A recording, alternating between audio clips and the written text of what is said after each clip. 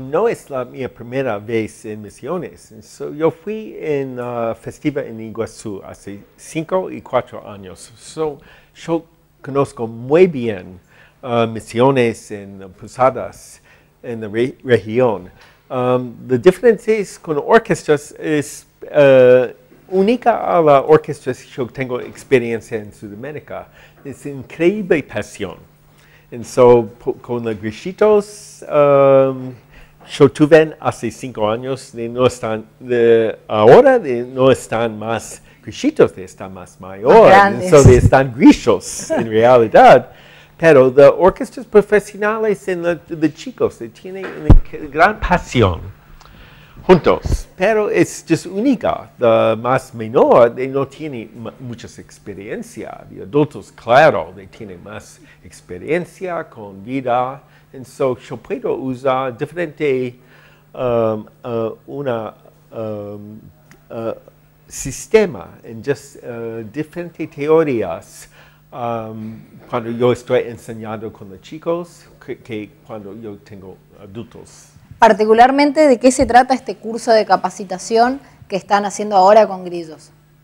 Well, the Grillos tiene un uh, uh, curso que están tocando en este programa desde de están hay cinco años. And, so, yo tengo uh, the más mayor de estas cosas.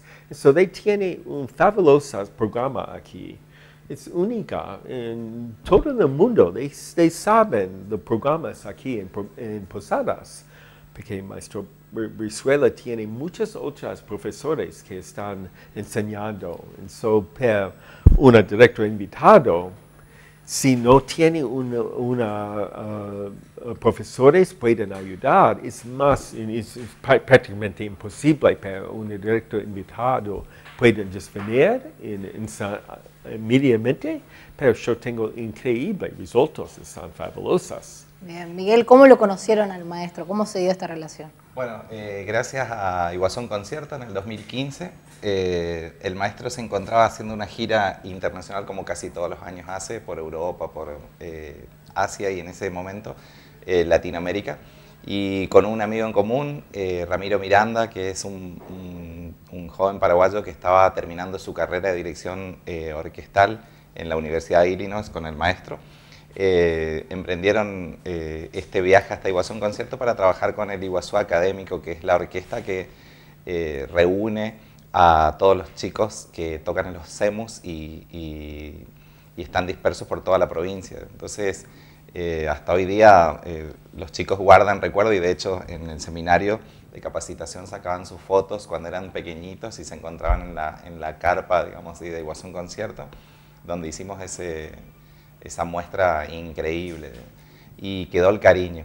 Y la propuesta de este año con el maestro, aparte de trabajar junto a la Orquesta Juvenil de Grillos, que son 60 jóvenes eh, súper eh, estudiosos y, entusiastas, trabajar en paralelo con otros docentes que trabajan en orquestas en los EMUS. Entonces, eh, en las semanas se estuvieron acercando hasta Posadas a trabajar técnicas de dirección, gestos, análisis de partitura.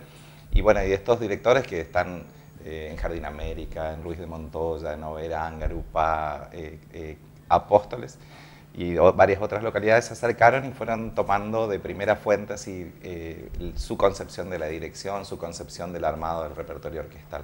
Bien, vos habrás conocido muchas personas ya, digamos, dentro de este ambiente. ¿Cuál es la particularidad de, de Jen, digamos? Bueno, la vocación de corazón de enseñanza, digamos, como, como es una persona que en el ámbito eh, de la Universidad de, Illinois, él tiene a cargo muchos docentes y recibe gente que ya está plenamente formado para hacer su doctorado en dirección orquestal. Eh, es una persona que está en otro nivel, digamos, pero se pone al, al nivel de lo que el, que está enfrente necesita. Y esa es una característica humana que, bueno, que, que la sabemos apreciar y valorar, digamos. Bien, ahora particularmente van a tener el día de mañana un cierre, digamos, de este, de este curso de capacitación con la gente de Grillos y el viernes que viene van a tener también un cierre de, esta capacitación también con la gente del Parque del Conocimiento. ¿Cuáles son los conceptos, por ahí la diferencia entre el evento de mañana y del viernes próximo? Uh, well, yo, tuve solamente ahora dos ensayos con adultos. Entonces yo tengo muchas más preparación.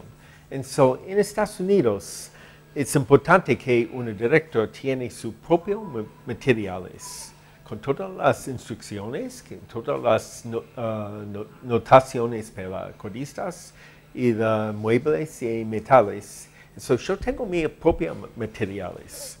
Entonces para la música de películas están todo preparado. Para adultos necesitan uh, mandar, mi, enviar mis propios materiales. Esto, estoy construyendo, construyendo una completamente diferente técnica. Entonces, yo, uh, tenemos en Estados Unidos muchas oportunidades que están muchos directores invitados de Sudamérica. Y vengan con fabulosa, están musicistas excelentes, y tienen una diferente perspectiva.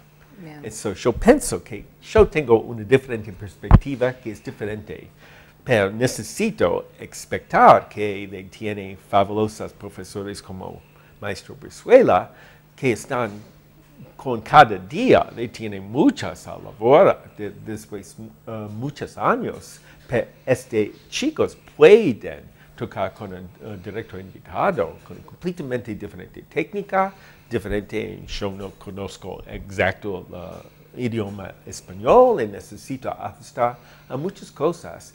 En todas las orquestas en el mundo de tiene muchas experiencias con directos invitados exacto por esta razón.